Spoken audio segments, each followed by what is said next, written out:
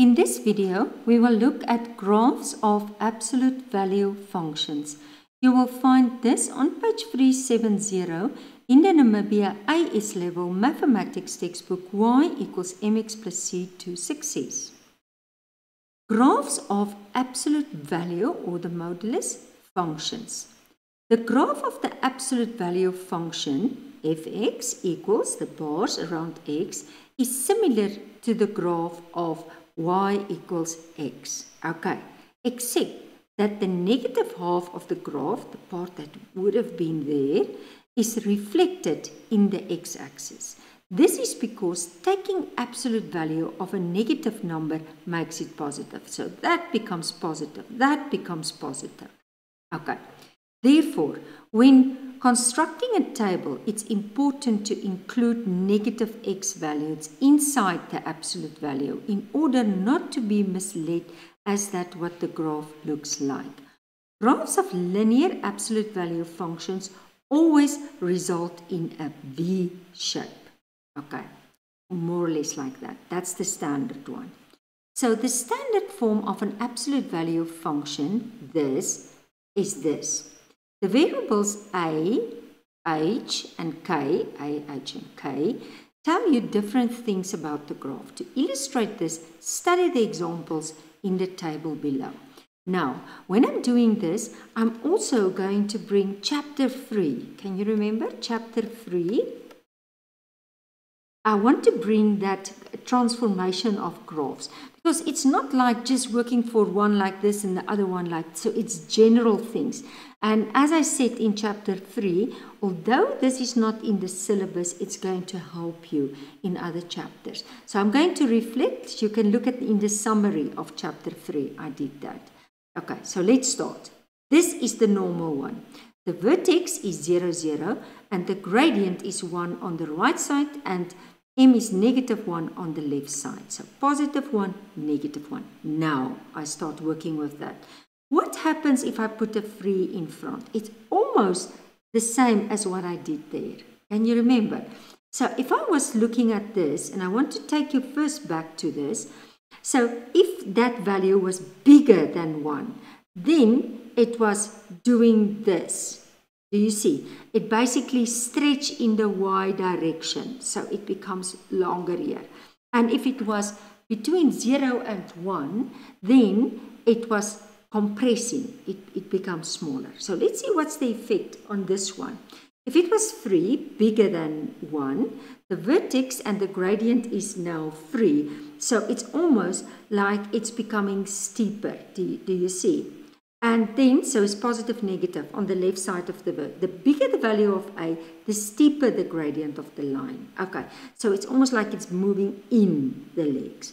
Now what happens, look here, if it's a foot, if it's almost like this, then it's becoming flatter. Okay, so the vertex and the gradient is a foot. The side of this, uh, the smaller the value of A, the less steeper the gradient of the line.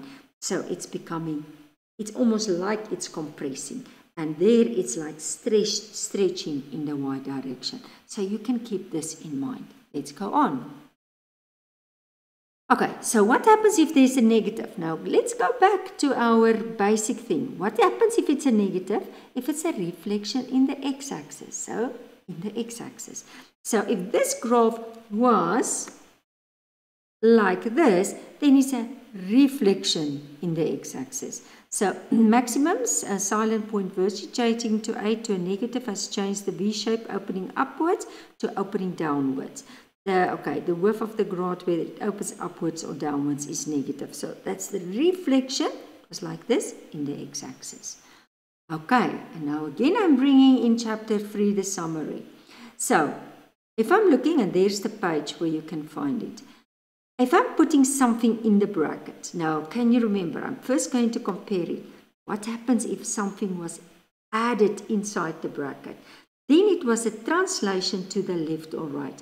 Can you remember if it was say positive 1, no, not in that direction, then it was in this direction.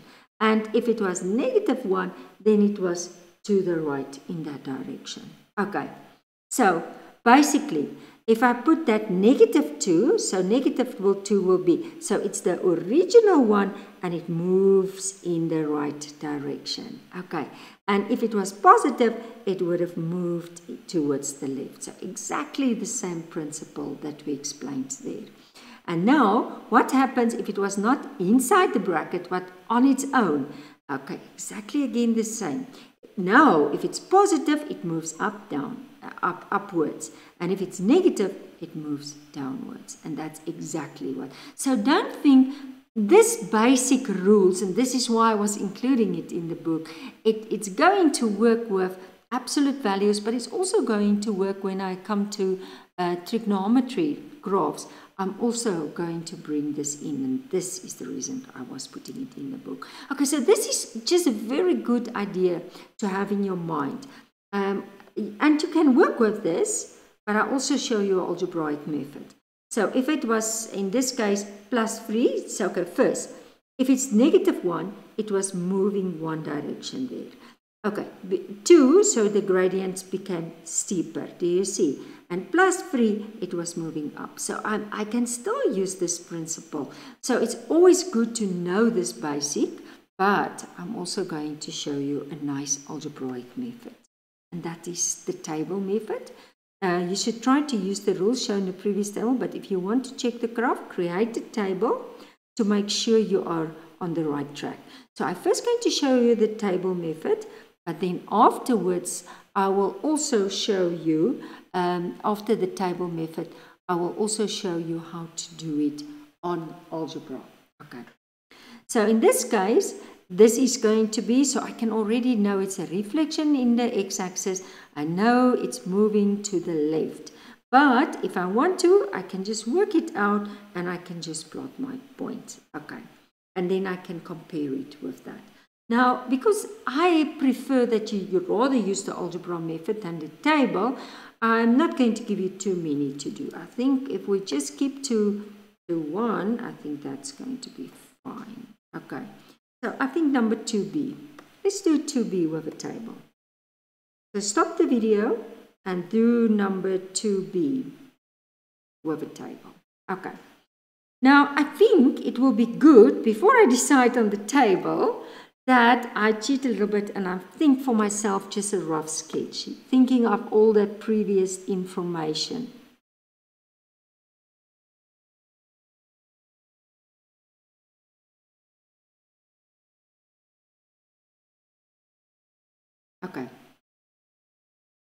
So if I look at this information, so it's plus 2, and actually it's moving up, it's going to, oh no, it's going to move down, it's not a reflection, and it's going to be plus 2. So I think more or less, if I must now think, I think it's, it's going to be, I don't say uh, plus 2. Luckily, there's nothing in front.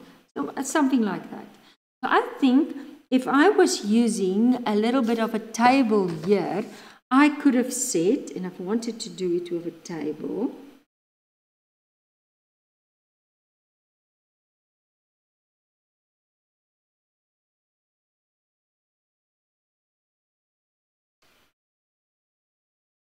Okay.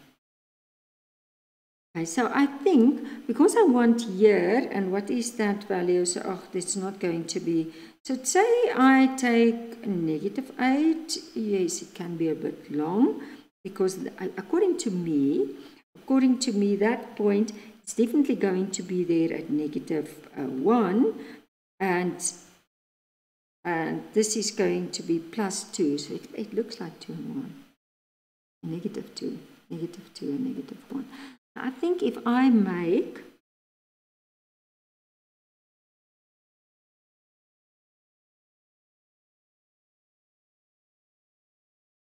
negative 4, I think negative 4 will be all right. Negative 4, negative 3, negative 2, and negative 1, 0. If I, I think this will be all right. Now I just substitute it in. Remember, I'm doing 2b. So if I substitute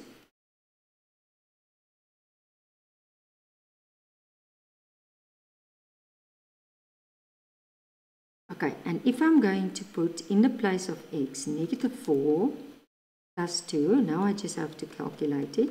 So it's going to be negative 2 minus 1. So it's going to be 2 minus 1. And 2 minus 1 is just going to be 1. And then, and I'm going to do a little bit of my cheating with just, you do it with a pencil every time. Now I'm going to just put here negative 3. And will also differ. Okay, so this is going to be negative 3, so it's negative 1, so it's going to be 1 minus 1, and that's going to be 0. And then I'm going to put uh, negative 2, and that is going to be 0, and that's going to be negative 1. And if I put negative 1, Uh, negative 1, then it's going to be 1 minus 1 the same, and that's 0. And if I put that 0, then it's going to be 2 minus 1, and it's going to be 1. Okay, I'm just going to get my grid. And if I draw my line then, and I'll see if my estimation was more or less correct, just see if I just like, oh, sorry, like a ruler.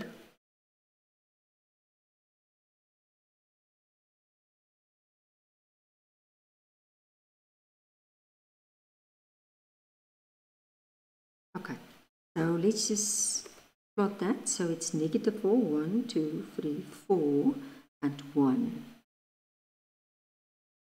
And negative 3 and 0 and negative 2 a negative 1 a negative 1 and oh negative 2 and negative 1 negative 1 and 0 and 0 and 1 and if I then draw the lines